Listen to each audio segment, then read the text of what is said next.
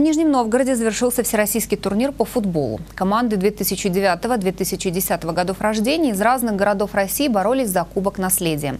Воспитанники спортивной школы «Звезда» под руководством тренера Василия Балашова заняли пятое место.